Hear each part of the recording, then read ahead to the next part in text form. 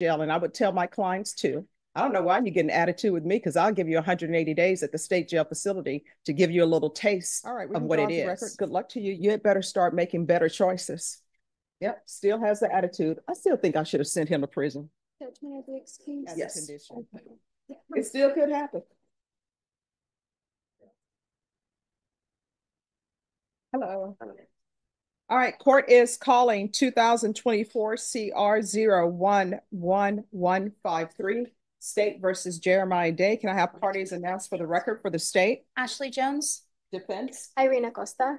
And are you Mr. Day? Yes. Did you review the court admonishments with your attorney? Did you understand it and sign it in all the appropriate places? Yes, Did you understand in count three, you're charged with tampering or fabrication physical evidence with intent to impair as a third degree felony? Range of punishment is anywhere from two to 10 years in prison and up to $10,000 fine. Did you understand? Did you understand if the court were to grant your application for deferred adjudication, if for any reason your deferred adjudication were revoked, the court could find you guilty and sentence you up to 10 years in prison and up to $10,000 fine? Yes, ma'am. Counselor, has your client been able to provide you with any defenses? Yes, Your Honor. Do you believe he has a rational as well as a factual understanding of the charges against him? Yes, Your Did you review the plea bargain page with your attorney? Did you understand it? Yes, ma'am. According to the plea, the state is proceeding on count three. There's a five hundred dollar fine. State recommends deferred adjudication. This is the run concurrent with two thousand twenty-four CC seven three seven zero six five. Did you understand that to be the plea?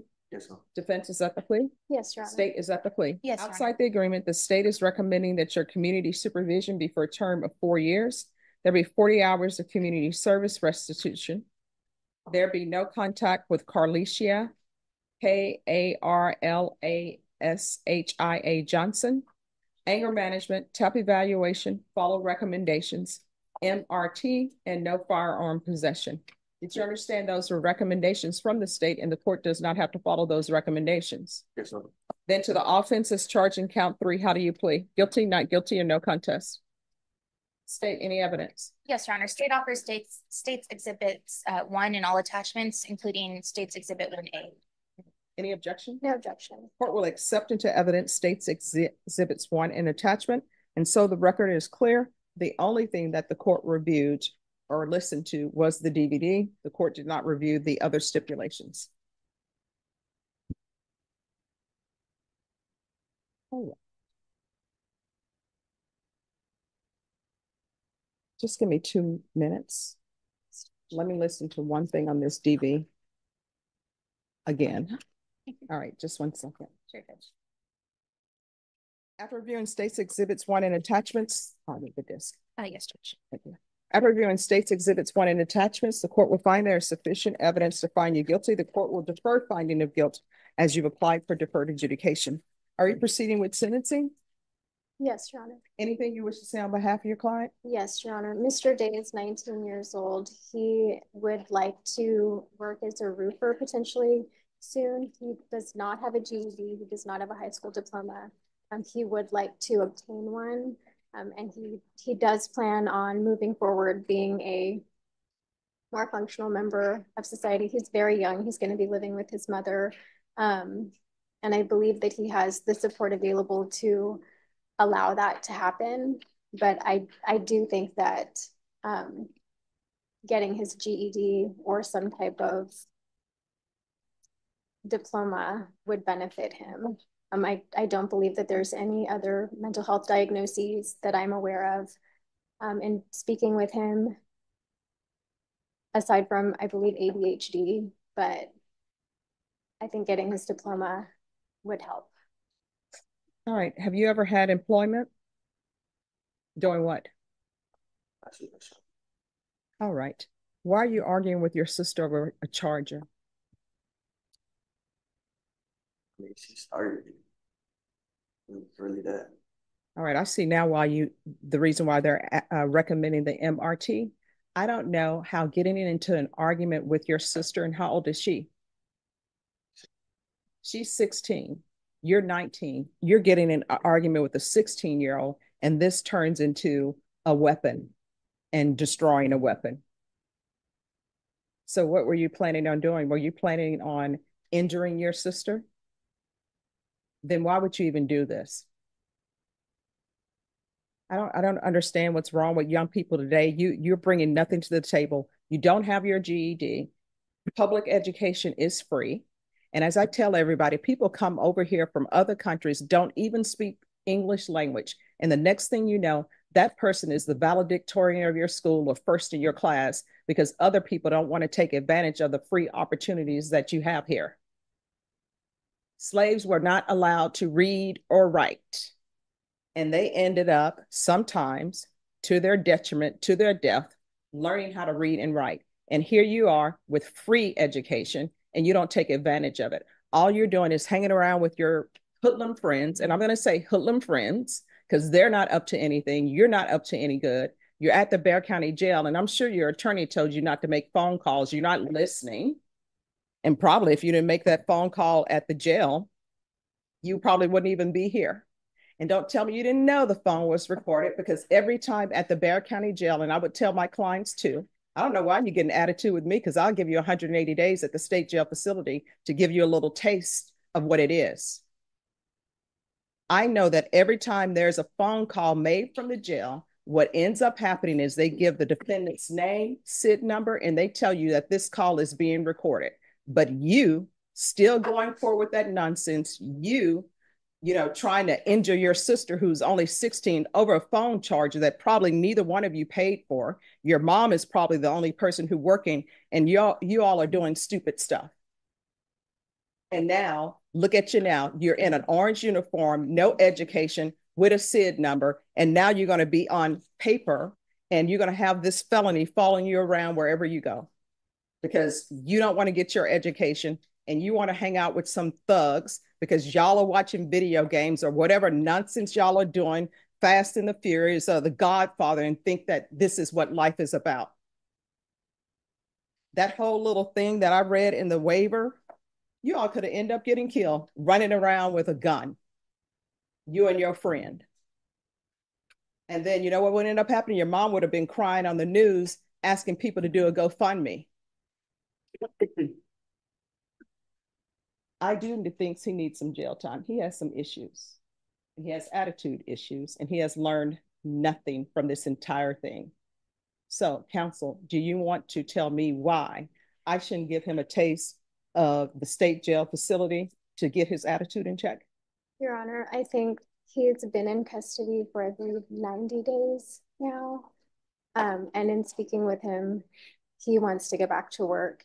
He wants to get his education. I think that that time period in the facility already or in Bexar County Jail has given him at least a taste of what it could be. And I think that in this situation,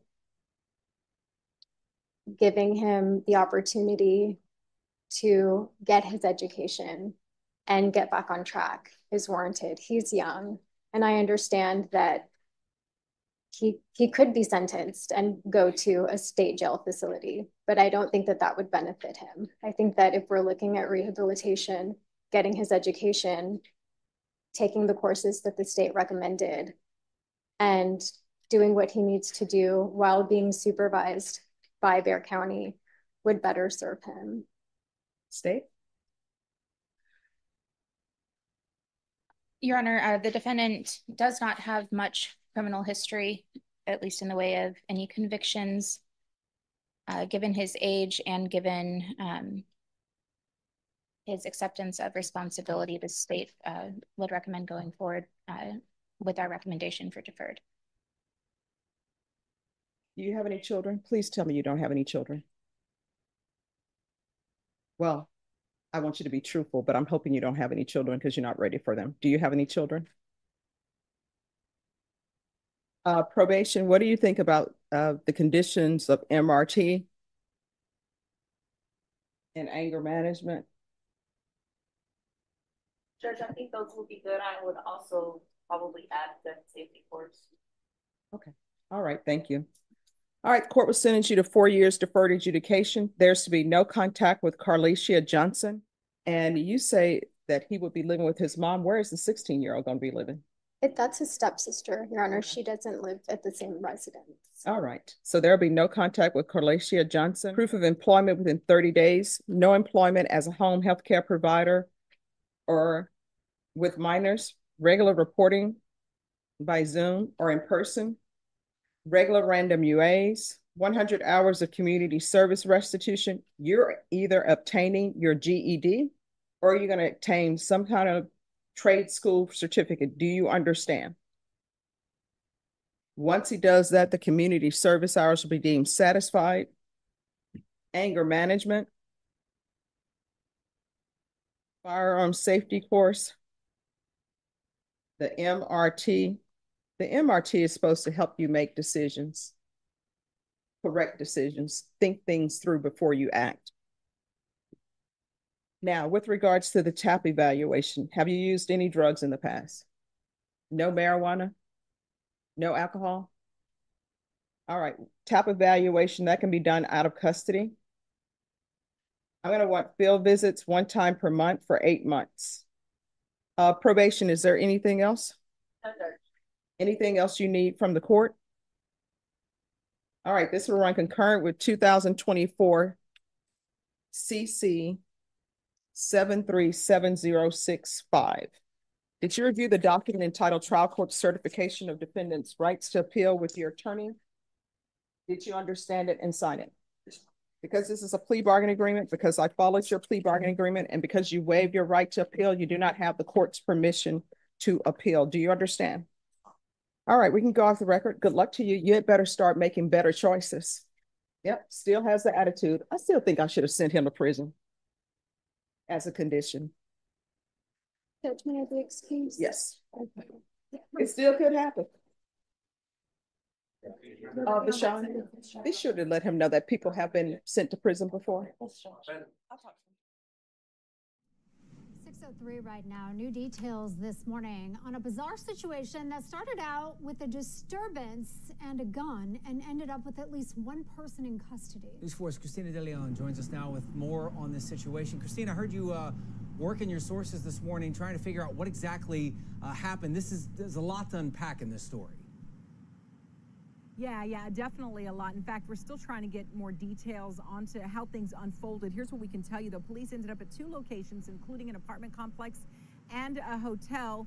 And in the end, one person was taken into custody. Let's go to the video that we shot last night for you. This all started around 5:30. Police were originally called out to an apartment complex off Brindlewood near Fredericksburg after a call about a disturbance with a gun. That's originally got police out there. You can see them on the scene there, the police officers with the long rifles out.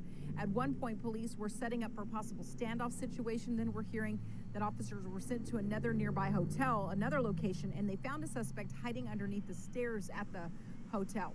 Now, police do tell us that one person was taken into custody. His charges include evading arrest and aggravated assault with a deadly weapon. But again, we're still trying to get more information about all of the circumstances that unfolded that led to this um, person taken into custody and if more people were taken into custody and possible charges for them as well. Reporting live, I'm Christina De Leon. We'll send it back to you.